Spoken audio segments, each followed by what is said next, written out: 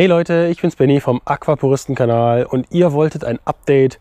Wie sieht's eigentlich hier draußen aus? Das habe ich euch noch gar nicht wieder erzählt. Und deswegen schauen wir jetzt einfach mal rundherum, was so sich in den IBCs getan hat. Und ich muss gestehen, ich habe gar nicht so viel rausgesetzt, wie ich ursprünglich wollte. Ähm, einfach, ja, wie sich das Ganze jetzt entwickelt, wisst ihr ja. Da habe ich viel zu viel anderes Zeug zu tun, als jetzt hier jeden einzelnen IBC fertig zu machen. Aber das werdet ihr jetzt sehen oder ich nehme euch einfach mal mit und kann es währenddessen erzählen. Also hier im ersten IBC, äh, wie letztes Jahr auch, wunderschön die Seerosen. Die hier ist jetzt gerade verblüht und die da hinten, ja, die ist jetzt kurz davor aufzugehen. Die ganzen Weiden haben sich wunderbar gemacht, sind jetzt gar nicht so stark gewachsen, wie ich das vermutet hatte, aber haben, wie ihr hinten sehen könnt, jede Menge ähm, Wurzelwerk gebildet. Das ist natürlich super, hält hier die Nährstoffe in Schach und vor allem, falls ihr das hier unten seht, spiegelt ein bisschen, äh, hält das die Fadenalgen in Schach. Das war ein sehr positiver Nebeneffekt von diesen Weiden. Ich hatte das ja in einem anderen Video schon mal angedeutet, hm, dass anscheinend die Salicylsäure aus den Weiden sehr stark die Fadenalgen beeinträchtigt. Und das ist äh, ganz nett, dass man jetzt hier gar nicht mehr so viele Algenprobleme hat. In diesem Container ist jetzt auch gar nicht so viel drin. Haufenweise Tellerschnecken. Die kriege ich jetzt wahrscheinlich hier gerade nicht gut drauf. Da holen wir einfach mal einen raus. So, hier seht ihr sie, also quasi wie Posthornschnecken noch viel flacher und werden auch nicht so groß, also nur so 1, 1,5 cm Durchmesser in diesem Fall. Ähm, da habe ich hier eine ganze Menge von und die vermehren sich super. Warum ich hier noch keine anderen reingetan habe, war einfach deshalb, weil hier eine Menge Rückenschwimmer und auch Käferlarven drin waren. Deswegen habe ich hier keine Fische reingesetzt. Da müsste ich jetzt, ähm, ja, ich wollte ursprünglich ja ein paar größere Fische dort einsetzen, die da kurz einen Prozess mit den Käferlarven machen. Da bin ich aber noch nicht zugekommen, mir die zu organisieren. Und das ist jetzt auch nicht so schlimm. Ähm, ja, ich habe da im Herbst eine Tagung, wo ich dann eventuell die Möglichkeit habe, an solche Fische ranzukommen. Jo, gut, dann gehen wir einfach mal weiter. Nächster Container, ähnliches Spiel. Auch hier seht ihr, es sind Algen da, es sind äh, Tellerschnecken da, es sind Rückenschwimmer da. Aber all diese Algen, das war der Container von den ähm, ja, Onyx-Garnelen, wo hier die, die Jungtiere den Winter überlebt hatten.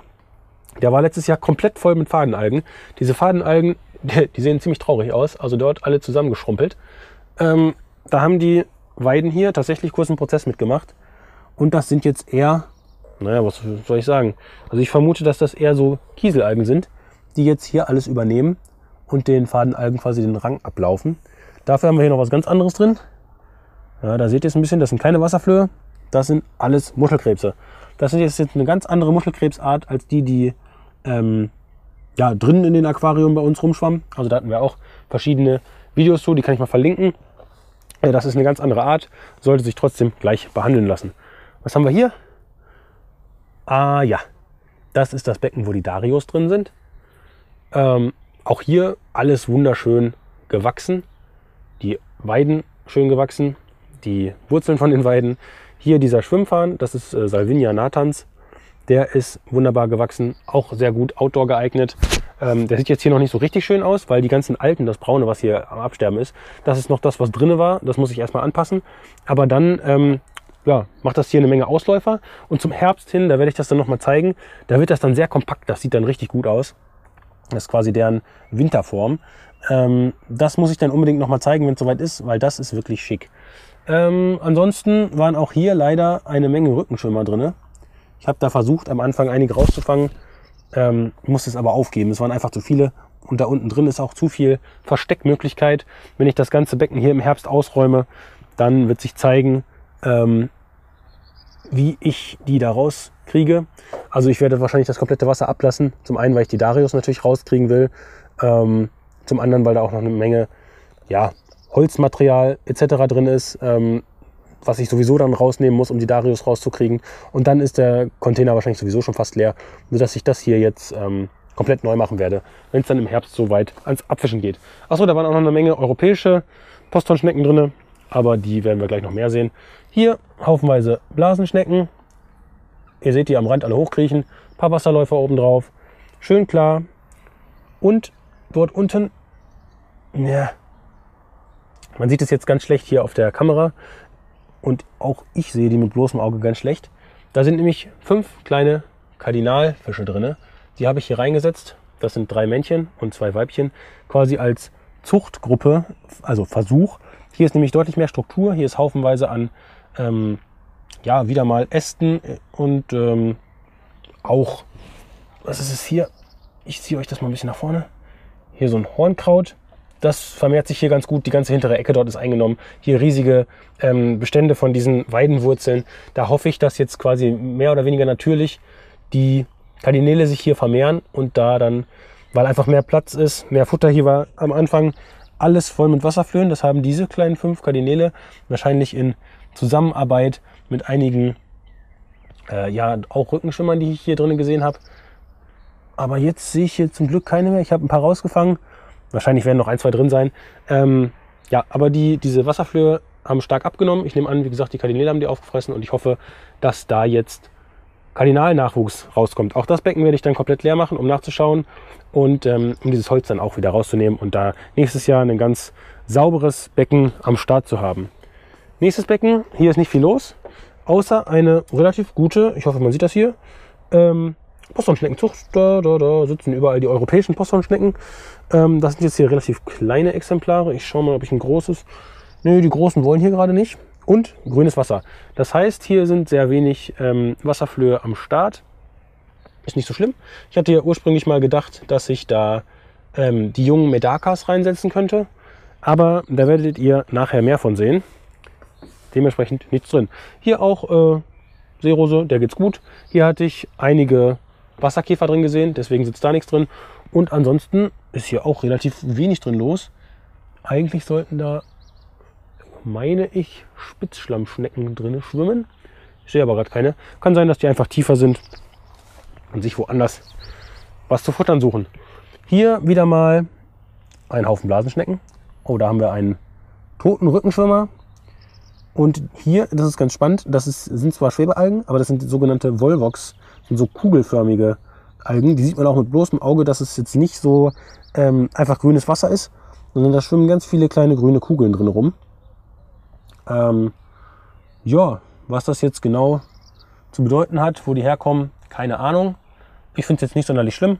Hier ist wieder eine schöne Population von diesen ähm, Blasenschnecken. Auch die Wurzeln hier haben sich ganz gut gemacht. Generell überall die Weiden, die gefallen mir eigentlich ganz gut. Wachsen hier ohne Ende und bilden dann so richtig schöne, dort hinten sieht man das wieder, Wurzelteppiche aus. Jetzt habe ich ein Stückchen abgebrochen. So, nächster Container, gleiches Bild. Äh, hier waren auch wieder große Wasserkäfer drin. Da wollte ich das Risiko nicht eingehen. Und hier in dem letzten Container auch wieder haufenweise ähm, Schnecken und eben Rückenschwimmer, wo ich mir gedacht habe, das Risiko gehe ich nicht ein. Ich hatte die Idee, ähm, da noch den einen oder anderen Fisch draufzusetzen. Jetzt ist es schon fast wieder zu spät. Es war ja auch ein relativ komisches Frühjahr, dass ich im Mai gar nicht dazu gekommen bin, großartig da was ähm, ja, rauszusetzen. Da war es einfach noch zu kalt für, habt ihr ja gesehen. Abgesehen von den Kaudis und den Kardinälen. Und jetzt, ja, wollte ich mich dann auch nicht mehr in der Umstrukturierungsphase da noch äh, ranwagen, so viel anderes Zeug zu ranzuschaffen. Ja, vielleicht ganz kurz. Hier haben wir diese Mini-Kiwi. Die wächst ganz gut. Hier sich dann auch hier äh, wickel ich die immer so drum, dass sie dann hier weiter wächst. Leider ist das genau das männliche Exemplar. Das weibliche wird immer wieder von den Rehen abgefressen, vorne auch. Aber hier schaut euch diesen das, der ist sehr stark beschattet. Hier ist eigentlich kaum Licht äh, oben drüber. Ja, hier der Holunder. Da fällt öfter mal was rein. Was für ein wunderschöner IBC. Also sowohl die ähm, Seerosen als auch dieses Hornkraut. Also Hornkraut wirklich ohne Ende. Sieht wunderbar aus. Hier. Es hat auch rote Stängel. Also ich hatte eigentlich erwartet, ich hatte nämlich von Stefan das ähm, raue Hornkraut mitgenommen. Und das macht hier rote Stängel und wächst auch so ein bisschen wie das mexikanische. Ich weiß echt nicht, ähm, Stefan hatte sich das auch nochmal angeschaut. Er vermutet, dass das raue Hornkraut bei sehr viel Licht einfach auch rote Stängel macht. Hm, das wäre durchaus möglich. Die blühen jetzt hier nämlich nicht so, wie das das mexikanische öfter mal machen würde. Und sind, äh, wenn man mal ein bisschen weiter guckt, hier, da wo nicht so viel Licht hinkommt, da sind die Stängel nämlich auch grün. Also das macht schon irgendwie Sinn, aber es sieht von oben, wenn ihr hier mal so drüber schaut, ähm, das sieht schon wirklich toll aus. Und da ist jetzt so viel Pflanzenmaterial drin, ähm, das also kaum zu fassen. Das macht richtig Spaß. Wenn ich da mal runter gucke, alles richtig wunderbar, klar bis zum Boden. Ich sehe da jetzt auch eine Menge Glanzwürmer. Hatte ich ja nochmal Glanzwürmer. Äh, ach, vielleicht hatte ich das gar nicht gesagt. Ich hatte in fast jeden Container noch Glanzwürmer reingesetzt, also auch die dort hinten, wo keine Tiere drin sind. Und werden dann im Herbst mal schauen, äh, wie die Glanzwurmpopulation so aussieht. Und hier in diesem Container, da muss ich dann mal Wasser unter, Unterwasseraufnahmen machen, ähm, sind auch noch sehr viele weiße Mückenlarven. Also hier seht ihr sie, falls ihr es denn auf der Kamera sehen könnt. Dort schwimmen einige rum und weiße Mückenlarven sind eigentlich immer ein Zeichen für ähm, gute Wasserqualität. Also das spricht hier für sich. Gute Wasserqualität. Ich habe da natürlich auch nicht viel gemacht, aber vor allem auch relativ kühl, also gleichmäßige Temperaturen hier drin. Und ihr wisst, was in diesem Container noch ist, nämlich ein Pärchen von den Darius. Und da bin ich besonders gespannt, wenn ich das im Herbst dann mal leer mache, ähm, zu schauen, wie sieht es mit den Darius aus? Warum mache ich die leer? Ähm, der sieht doch so schön aus. Ja, auch da liegt einiges an Holz unten auf dem Boden, wo ich mal schauen will, wie sieht das so aus. Und hier sehe ich das gerade. Na, komm raus. Seht ihr sie schon? Da. Eine kleine Libellenlarve. Also hier sind einige Libellenlarven auch drin. Ähm, ich werde die jetzt nicht aus allen Containern rausschmeißen. Im Gegenteil, ich werde die dann von hier nehmen und in einen anderen Container schmeißen. Die können dann in einem Container, äh, dürfen dann auch mal die Libellen sich na, ausbreiten. Aber das darf nicht die Regel werden. Äh, das muss ich also nicht unbedingt haben. So, hier haben wir noch einen Container. Auch hier ähm, ja, sind diese kleinen kugeligen Algen. Das sieht man jetzt gar nicht so gut. Aber ähm, da ist jetzt auch nichts weiter reingekommen. Nächster sehr schön zugewachsener Container. Da muss also was drin sein, ne, wenn es so gut aussieht. Eigentlich wollte ich hier diese ähm, ja, Entengrütze, diese Lenma Wasserlinsen, wollte ich hier eigentlich gar nicht reinhaben. Die sind irgendwie, ja, haben sich da irgendwie eingeschleppt. Keine Ahnung, wie die da reingekommen sind. Aber das Witzige ist, dass nicht nur diese normale Wasserlinse hier drin steckt, sondern auch, ja, da könnt ihr sie jetzt mal sehen, hier unten. Ähm, ja, wie heißt sie denn? Ich blende das hier mal ein diese Wasserlinse, die unter Wasser wächst. Die ist eigentlich ganz witzig, gar nicht mal so schlimm zu haben. Ähm, vielleicht überlege ich mir, die auch mal ins Aquarium rüberzusetzen.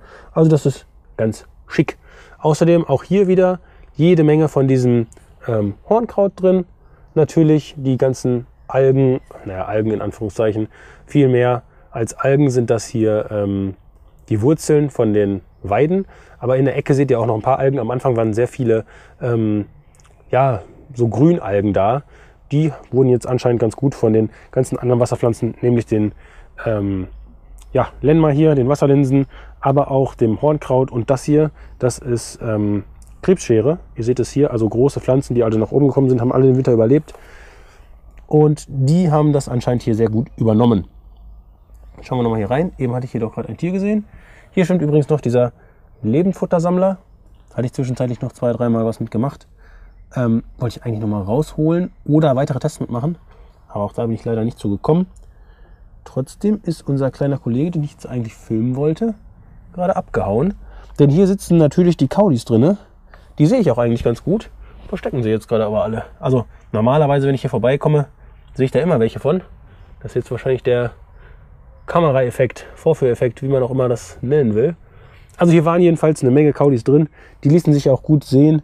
Ähm, wie viele Nachkommen da jetzt drin stecken, kann ich ganz schlecht sagen. Ähm, ja, weil ihr seht ja, wie das Ding aussieht. Ähm, da kann ich jetzt nicht sagen, wie viele da drin sind. Aber es sind definitiv eine Menge drin. Alle, die ich da klein reingetan habe, habe ich jetzt schon gesehen, dass die alle äh, eine ganz gute Größe erreicht haben. Und da sollte sich eigentlich auch Nachwuchs einstellen. So, hier seht ihr jetzt aber was.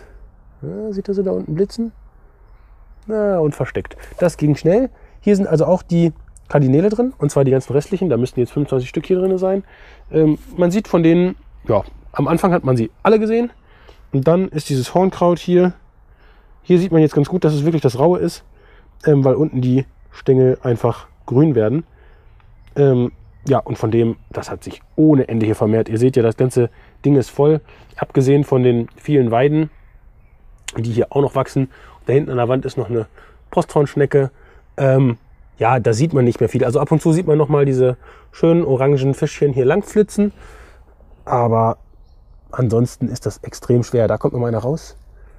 Ja, vielleicht seht ihr sie jetzt. So, ich schäme das Ganze mal ab. Ja, da unten drinne. Ja, schwierig. Also ich habe hier auch sehr angestrengt reingeschaut, ob ich mal irgendwie Jungfische sehe. Ähm, tue mich dabei extrem schwer. Also entweder die fressen ihre Eier sehr gut auf. Ich habe schon äh, Balzen gesehen. Die müssten hier auch drinnen leichen. Also es wäre schlimm, wenn nicht. Äh, die haben ja, alle eigentlich dicke Bäuche, durchgehend dicke Bäuche. Und es war eigentlich immer genügend Futter da. Also ich habe geguckt, am Anfang waren ja Wasserflöhe da, Mückenlarven. Ab und zu habe ich auch mal zugefüttert, aber jetzt nicht so stark. Ähm, ja, und da warte ich eigentlich drauf, dass ich hier mal Jungfische sehe. Könnte aber sehr gut sein, dass ich die erst zu Gesicht bekomme, wenn ich das Becken hier dann auch leer mache. Das werde ich leer machen müssen, sonst werde ich nämlich nicht alle Tiere rauskriegen. Ähm, da möchte ich das auch eigentlich gerade bei Fischen sicher gehen, dass ich die nachher alle erwischt habe. Und hier haben wir jetzt den letzten Pott, der bis vor kurzem ganz furchtbar aussah. Ähm, da war wirklich alles voll mit so einer Art ja, Schlons, Schleim, Algen irgendwie. Ähm, und deswegen habe ich hier nichts reingesetzt. Jetzt haben die Wasserflöhe übernommen. Die haben hier alles leer gefressen, was irgendwie in Algen da war. Auch hier sind noch zwei so Krebsscheren drin. Ein bisschen von diesen Wasserlinsen und eine Portion Moos, die ich ganz schlecht identifizieren kann. Ich vermute mal, es ist so ein bisschen Stringy Moos, was ich von Stefan mal hier mit reingenommen hatte. Und ihr seht, es sind so viele Wasserflöhe, das ganze Zeug, was auf der Oberfläche schwimmt, das sind alles diese Dauereier und dort am Rand kleben sie auch.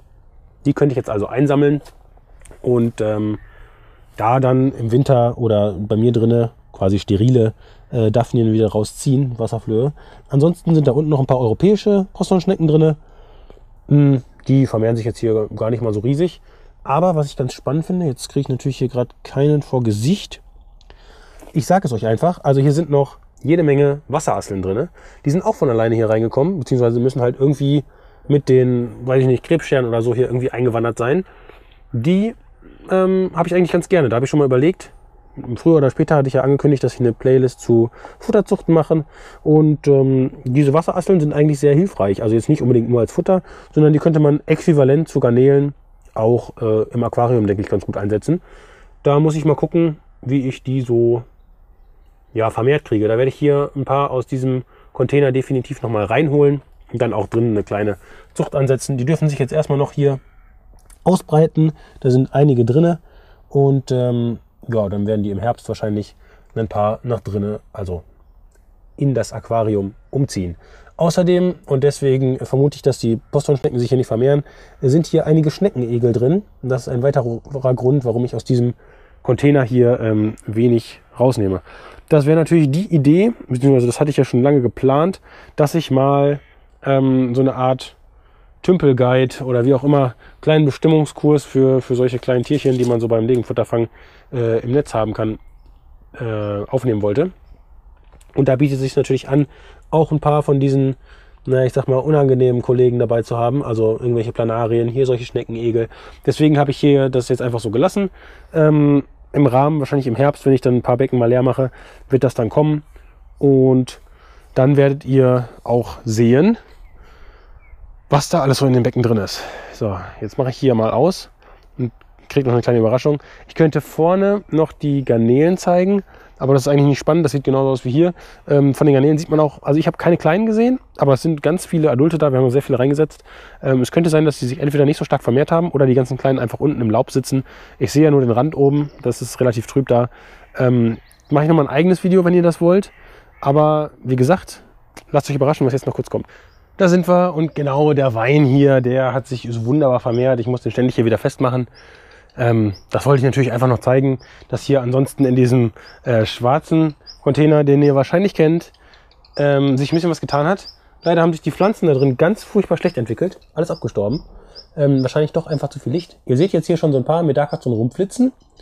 Und ich habe das jetzt nicht weiter groß äh, mich um diesen Laichmob da drüben gekümmert. Wo ich mich aber darum gekümmert habe, ist die zu füttern, weil hier wahrscheinlich nicht so viel Anflugnahrung kommt. Das heißt, da hinten, da seht ihr, ist ein Schmetterling reingefallen. Äh, den lasse ich auch einfach hier drin. Da waren ja noch zwei, drei Garnelen auf dem Boden. Die können sich darüber freuen, wenn nachher irgendwas absinkt. Da auch schon mal ein, zwei Nacktschnecken reingefallen. Wenn da größere Sachen waren, habe ich die dann doch mal rausgeholt. Äh, aber das, was äh, na, da rumschwimmt, das sind ähm, ja verschiedene Teile von ähm, Pflanzen, die hier so im Garten waren. Also da ist jetzt ein Stückchen Distel, ein Stückchen Mohn. Mohn ist jetzt eigentlich nicht so super für ähm, Fische, aber das ist jetzt nur ein kleines Stückchen. Ähm, und zwar sind da immer ganz viele Blattläuse dran. Und irgendwer hat mir mal geschrieben, äh, ich fütter die immer mit den Blattläusen, die ähm, ja irgendwo an meinen Pflanzen hängen. Und habe ich gedacht, wunderbar, hier habe ich jede Menge Blattläuse, dann mache ich das auch. Und das funktioniert tatsächlich, dass die äh, Medakas da ja, das Ganze untersuchen und dann auch den einen oder anderen ähm, ja, das ein oder andere Insekt, die ein oder andere Blattlaus wahrscheinlich dort verzehren. Jetzt könnte das Ganze sicherlich viel besser aussehen, wenn ich hier die ganzen Pflanzen drin hätte. Deswegen werde ich nächstes Jahr auf jeden Fall versuchen, die nach vorne zu setzen in die anderen EBCs. Vielleicht könnte ich das doch auch jetzt schon machen. Fällt mir gerade so auf. Ich hatte ja noch ein paar frei. Ähm, dass ich die Adulten hier rausfange. Jetzt sage ich schon Adulte, weil da drinnen jede Menge kleine Jungtiere rumschwimmen. Ja, ich versuche die Kamera mal da rein zu zwingen. So. Ihr seht auf der Oberfläche winzig kleine Kommas rumflitzen. Also die Jungtiere, die hier so drin sind, sind so zwischen 0,5 mm, ah nicht 0,5, sondern 0,5 und 1 cm. 0,5 mm ist doch ein bisschen arg klein. Nee, aber die sind ähm, also gut sichtbar, so wie Guppijunge ungefähr oder teilweise ein bisschen kleiner. Und denen scheint es hier sehr gut zu gehen. Ich weiß jetzt nicht so ganz genau, wo die jetzt ihre Eier dran gelegt haben. Wir können das ja gerade nochmal kontrollieren, ob die jetzt wirklich hier diesen Laichmob verwendet haben. Ich hatte das ab und zu schon mal gemacht.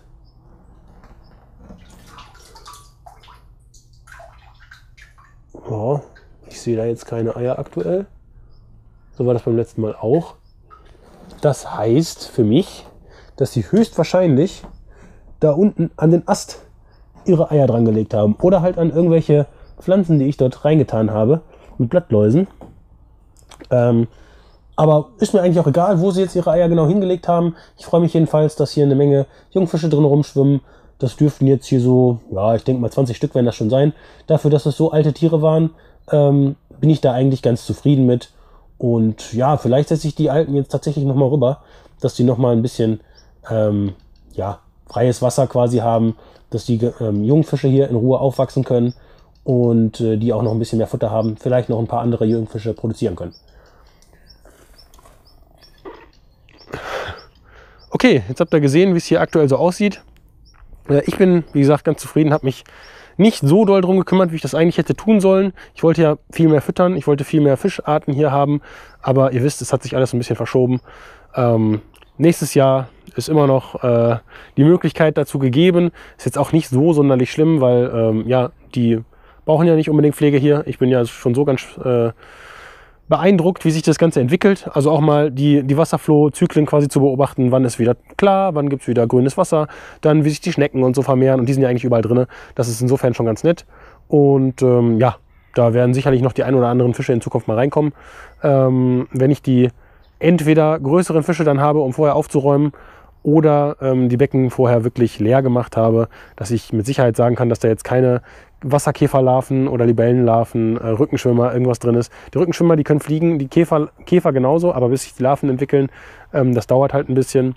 Und da möchte ich jetzt nicht unbedingt irgendwelche Fische drin haben, wo ich denke, ja, ähm, die möchte ich da vermehren und dann weiß ich, da sind jede Menge Libellenlarven oder ähm, irgendwelche Käferlarven drin, wo ich dann Angst haben muss, dass die eben die, die Nachkommen wegfressen. Von daher ähm, gehe ich lieber ein bisschen langsamer an und freue mich eigentlich über alles, was sich jetzt so extrem gut entwickelt hat und äh, kann darauf aufbauen und weiß schon mal, dass es mit dem Hornkraut äh, super versteckt ist. Diese ähm, Wurzeln von den Weiden haben super funktioniert, sodass ich im nächsten Jahr auf jeden Fall darauf bauen kann und sicher sein kann, dass also auch Fische, die mehr Verstecke noch brauchen, ähm, ja, ich dort gut einsetzen kann.